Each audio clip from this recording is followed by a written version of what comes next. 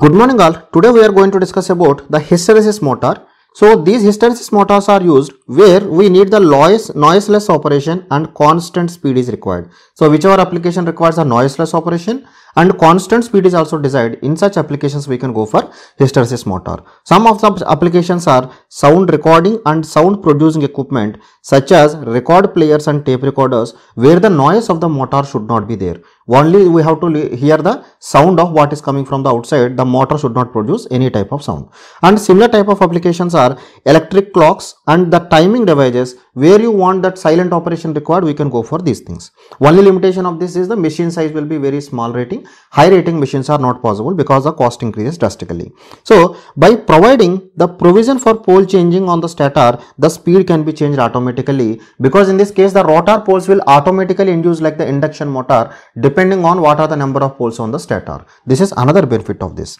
Now let us see the construction of one this one. So the stator can be similar to that of your single phase machine or a three phase machine. Either you can go for three phase balanced winding. So three phase rotating magnetic field produced. Then it is called as a three phase hysteresis motor. So if you want to operate on single phase because it is the case of most of the applications.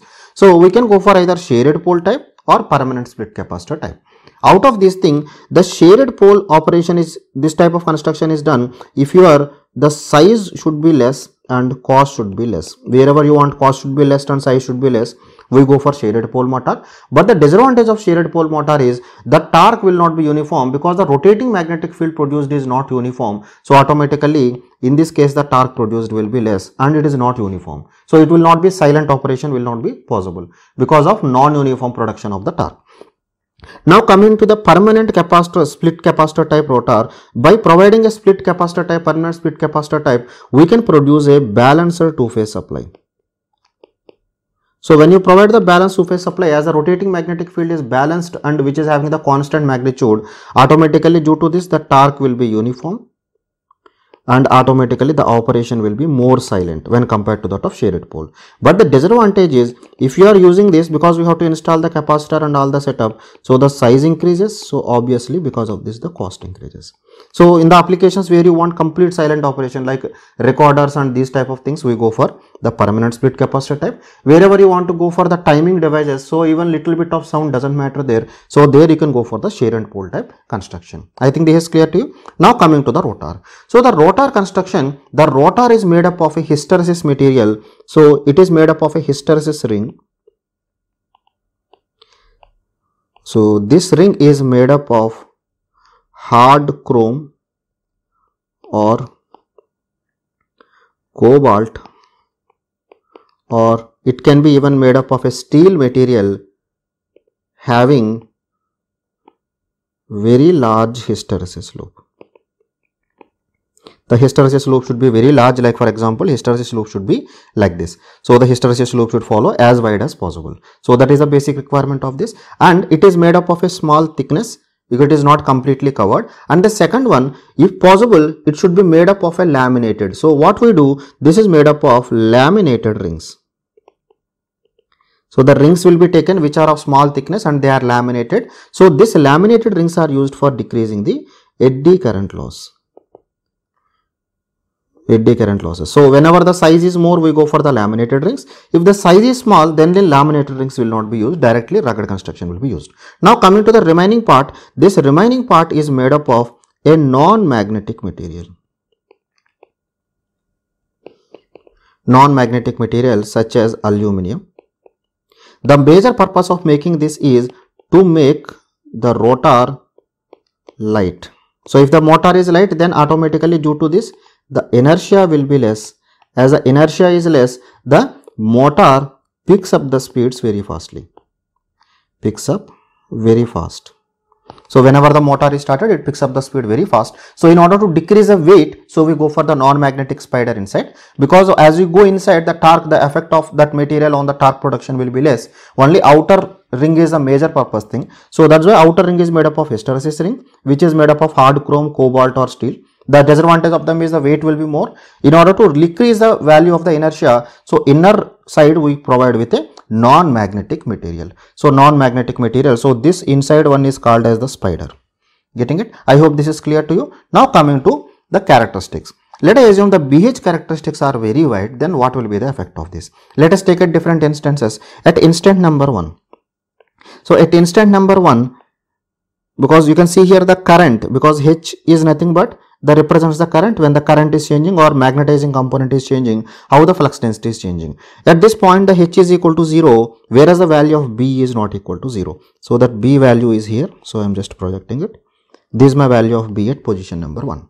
Now at position number 2, you can see the current is non-zero or H is non-zero. At that point, the value of the flux is equal to 0. That means it will become 0. Let us take this as point number 2. So at this point, it becomes 0. This is the value of H. Now coming to point number 3. At point number 3, the H is maximum. The H is maximum. At this point, you can see it will go on increasing in this way. It gets saturated and it reaches the saturating point. It reaches the peak point. This is point number 3. Now again point number 4. At point number 4 the current is also non-zero and the value of B is also non-zero. It is remaining constant. Now at point number 5 still B is constant but the current is decreased to 0. That means we can tell when the current is equal to 0 at this point still it is non-zero. This is point number 5. So after that it will go on decreasing. At point number 6 you can see for small value of negative value of H it becomes 0. So it is some for the negative value of H, it becomes 0. So similar way it will proceed at point number 7 where the current is maximum, it reaches a constant value. So it will go on decaying like this, it becomes constant here. So it will proceed like this. So this is my value of, of B. So how the B is varying with respect to H, you can see that the B is lagging behind the H by some angle delta. So there is some angle difference delta between these two. So this delta is called as hysteresis angle. So what is the significance of this? Let us take for example, I am taking my stator, stator construction is there.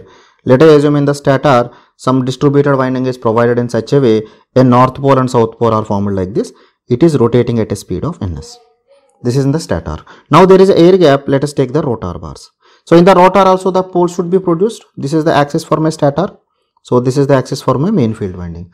Now, due to the hysteresis effect, because we are seeing the flux is not in phase with the magnetizing component of current, it is lagging it by some angle. Due to this, the fields that are induced in the rotor will be lagging behind with some by some angle. So that means the south pole and north pole of your rotor is lagging by some angle. This angle is nothing but the hysteresis angle of advance this angle is nothing but hysteresis angle of advance. So, there will be some angle. So, the, because of this the hysteresis torque will be produced the TH is proportional to the value of the stator flux, the value of rotor flux and sine of the angle between them. So, this gives the value or simply this can be written as phi s is because of the Fs. So, stator MMF rotor flux into sine of the angle between them. So now as a rotor is changing its position because the rotor because of this torque the rotor will start pick up the speed it will continue to run. As even if the motor is running we always know that the relative speed between the stator and rotor flux is always equal to 0 in an induction motor because whatever is the EMF induced in the rotor it will induce at the slip times the frequency but rotor is already rotating at 1 minus s times of slip. So the total speed or relative speed of the rotor MMF with respect to stator, we have already seen in the induction motor, the relative speed or the speed of rotor, the speed of rotor flux with respect to stator will be the speed of the rotor flux, speed of the rotor flux will be equal to s times of f plus the the speed of the rotor with respect to this will be 1 minus s times so this means s times of ns will be there 1 minus s times of ns. This is the speed. So this will be equal to ns. That's why we can tell that the stator is also rotating at ns, rotor is also rotor MMF also rotating at ns. Both are always stationary with respect to each other. That means even if under running condition also I want to prove that the value of delta is not going to change, the delta will be maintained constant. That's why always the torque is proportional to sine delta, it will also remain almost uniform. Let us prove this in a mathematical way so that it will be more clear to you. So how this torque is coming? So what is the proof? Like this delta and other things will be confusing for you, right? So let us take, there will be two types of fluxes that are produced in the rotor, one is because of the hysteresis, there will be hysteresis loss. And second one, even though you are laminating your rotor, still some eddy currents will be produced in the rotor because it is also made up of the iron material. So, there will be eddy current loss also. The eddy current loss I can represent by eddy current loss is equal to some constant Ke multiplied by rotor frequency square into rotor flux density square. But we know the rotor frequency is equal to S times of stator frequency or we can tell that this will be nothing but S times of F1 whole square into B square. So this I can write as S square times of Ke into F1 square into B square. Because stator frequency is constant, the flux density, all these things are constant. It is not going to affect. So from this I can write my torque produced because of this eddy current loss will be given by the power divided by S times of omega S. This we have already seen in induction motors. So this I can write as Ke into F1 square into B square into S square divided by S times of omega S. Because remaining things are fixed because omega S and everything are fixed because omega S once the number of poles are decided omega S is fixed 120 F by P. So we can tell that this will be nothing but some constant K dash times of S. So we can tell the eddy current torque that is produced will be proportional to the slip. At the time of beginning some eddy current is produced, eddy current torque is produced but as you are going it will go on decaying. Let us try to draw this. So let us take that per unit slip, speed. So per unit speed let us take as 0 and here it is 1.0. So this eddy current torque will be non-zero when the speed is equal to 0. It will go on decaying because it is proportional to only S. So this is my eddy current torque. So eddy current torque is obtained. This is the torque. So there is second one that is hysteresis torque. So let us take the hysteresis loss we know is equal to some constant K multiplied by F into B to the power of X. So this I can write as kh into f2 is nothing but s times of f1 into b to the power of x. Everyone agree with me? So if you want to calculate the torque, torque is equal to ph divided by s times of omega s that is uh, the torque that is produced. This will be equal to if you are substituting this this becomes s times of kh into f1 into b to the power of x divided by s times of omega f. Because ss will cancel you can see here it is becoming a constant. So from this we obtain that the hysteresis torque remains constant throughout the values of the speed. Again it is proved in this way also that delta remains constant or hysteresis torque remains constant. So the hysteresis torque will be remain constant. Let us take this is my hysteresis torque which remains constant up to speed ns. So this is my th. So now the total torque will be resultant the sum of the torque produced by these two. So if you are taking the sum your torque will come like this up to your synchronous speed. So this is my resultant torque. So this torque is proportional to hysteresis torque plus eddy current torque. The sum of these two torques give this. So generally if you are laminating your core properly, the value of the eddy current torque is negligible because it will be very less. So then you will get an ideal characteristics. You will get your torque speed characteristic as a straight line. You will get a torque speed characteristics as a straight line if you are neglecting the value of eddy current torque. So that's why if you are going for a big rating machine in order to provide the constant uniform torque from no load to full load, we always try to laminate your core. It is laminated by a rings that I have already discussed before. Getting it? Even if you don't laminate, the advantage is at the time of starting, both the torques are adding. So initially torque will be more. So motor can remove its inertia at a faster rate. It will accelerate at a faster rate. That is the advantage. Getting it? So now once the motor achieves near to the synchronous speed, at that time you can see the eddy current torque is becoming equal to 0. Now the by that time the rotor get magnetized because of the characteristic of the magnetic material the rotor gets magnetized and then it will continue to act as a permanent magnet motor. So I am just representing that point here at synchronous speed rotor gets magnetized this is permanently. Permanently magnetized and acts as a permanent magnet motor. It acts as a permanent magnet motor it will continue to operate. The major advantage of this is you can observe that the torque is uniform. So as the torque is uniform, the reason for torque becoming uniform is two things. One thing is because of the hysteresis torque and the second one this rotor is made as smooth as possible because rotor is very smooth because of the smooth operation the harmonic torques that are produced as compared to the induction motor. In the case of induction motor, the slot harmonics will be produced. That slot harmonics are absent in the case of hysteresis motor.